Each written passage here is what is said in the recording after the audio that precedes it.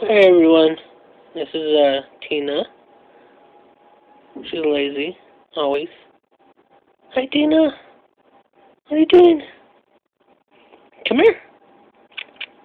Come here, Tina. She's also funny. And this is our messy ass apartment, because we just moved in a week ago. So yeah, pretty small. There's the beds.